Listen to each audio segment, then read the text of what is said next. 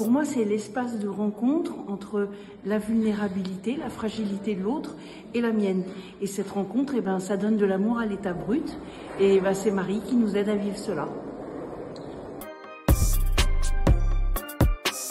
Moi, j'ai trouvé une, une vraie et une belle famille. Euh, J'y ai trouvé un espace de vérité et de sincérité.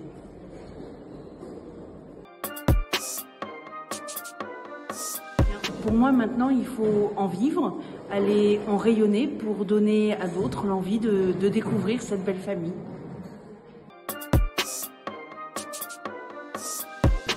De rien.